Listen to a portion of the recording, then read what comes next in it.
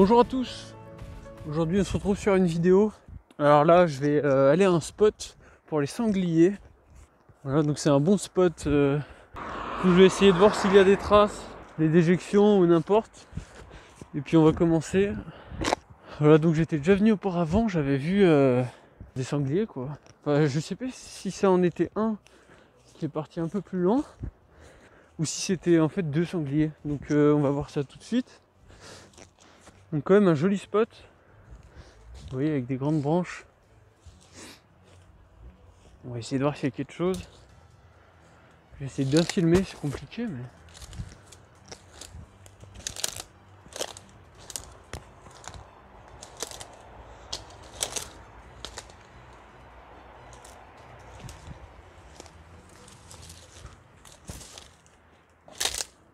À tout moment il peut y avoir quelque chose qui part devant moi.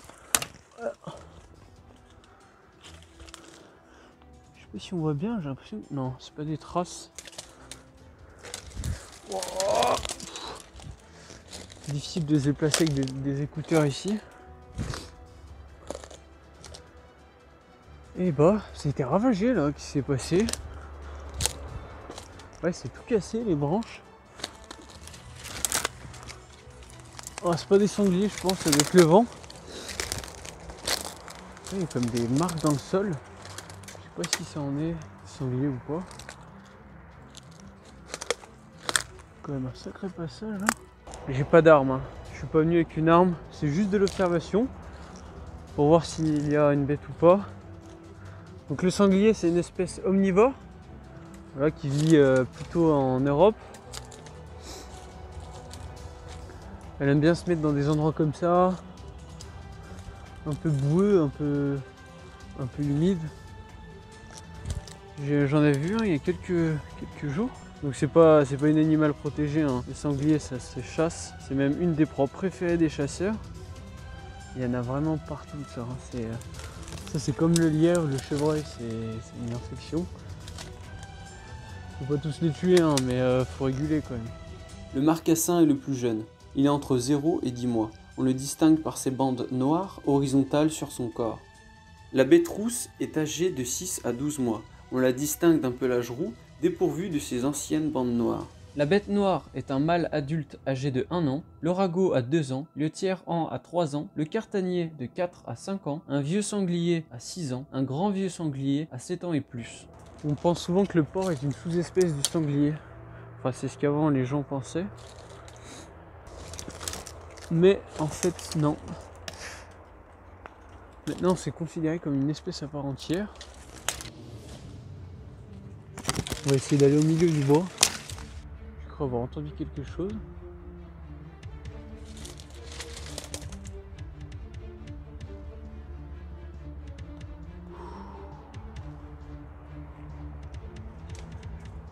Faut vraiment avoir les yeux partout.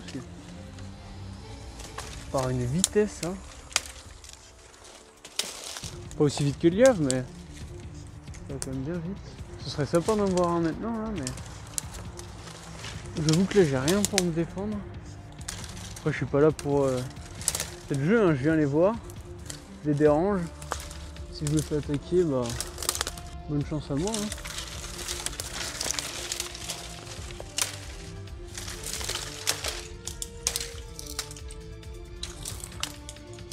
Le corps du sanglier est parfaitement fait pour le combat. Son avant-train est puissant, son cou est massif et ses défenses sont tranchantes comme un rasoir. Les canines du sanglier sont particulièrement bien développées. Celles de la mâchoire supérieure, les grès, se recourbent vers le haut durant la croissance. En ouvrant et en fermant sa gueule, il peut les garder très bien acérées.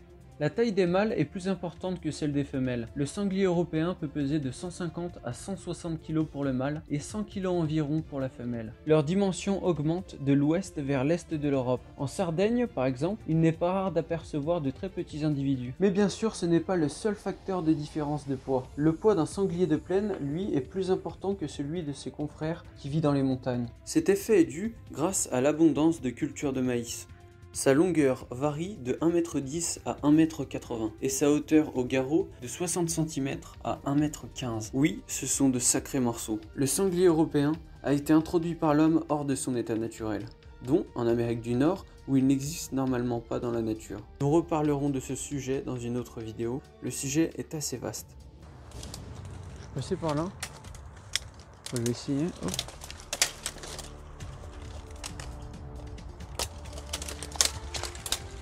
Oh, normalement ça attaque pas. Hein. Sanglier. Normalement il s'enfuit. S'il peut. S'il est pas bête.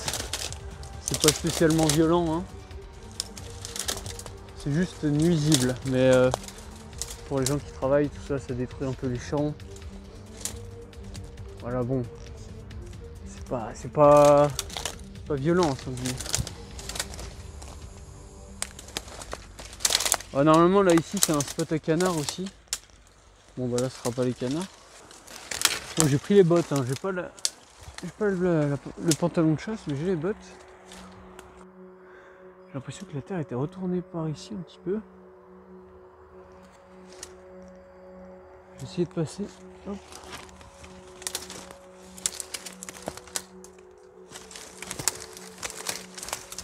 Petit à petit j'essaie d'avancer. Le sanglier est omnivore, il mange un grand nombre de plantes, fruits, glands, noix, céréales, ou même des champignons, truffes, truffes du cerf, aussi de nombreux animaux, vers, mollusques, insectes, ainsi que de petits mammifères comme les oiseaux, que ce soit morts ou vivants. S'il est affamé, il est réputé pour pouvoir occasionnellement s'attaquer à un animal plus grand mourant, voire à une brebis en bonne santé. Bon là il a rien, mais il y a des traces en tout cas.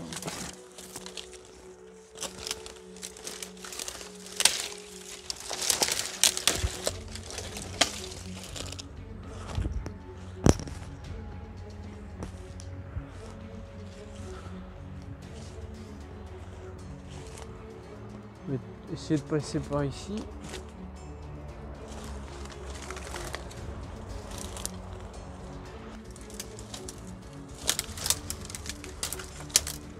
Le plus dur c'est de garder son sang-froid si on en voit un.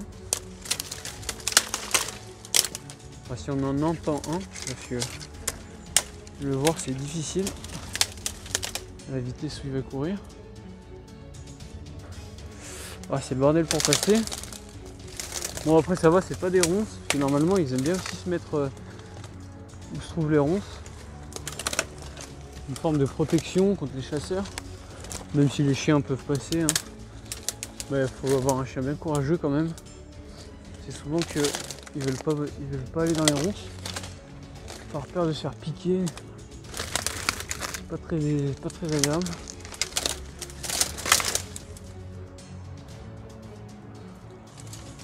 Mais si sentent un sanglier, normalement, ça, part. Il faut avoir un bon chien. Je sais pas si c'est des traces là, parce que c'est. Je vous mettrai en vidéo euh, sur le montage euh, la trace d'un sanglier pour vous montrer un peu comment euh, comment c'est. Bon, il y a une autre partie il y a d'autres endroits où je connais où il y a des sangliers.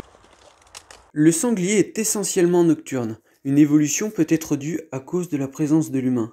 Il est plutôt sédentaire et apparemment attaché à son territoire quand il est entouré d'obstacles. Mais dans un milieu qui lui convient, il peut parcourir plusieurs dizaines de kilomètres dans la nature et son air vital peut atteindre de 100 hectares à plus de 1000 hectares. Régulièrement, le sanglier se vautre dans la boue, dans des lieux appelés souilles, et se frotte avec insistance contre les troncs d'arbres pour se débarrasser des parasites, réguler sa température corporelle et marquer son territoire. Les sangliers vivent en société. Ils forment des troupes appelées compagnies et dont la taille varie selon les saisons et le lieu. Une compagnie compte environ de 6 à 20 individus, enfin même si des troupes de 100 individus ont déjà été observées. Ça doit faire un sacré boucan quand même. Mais bon, ça reste quand même très rare.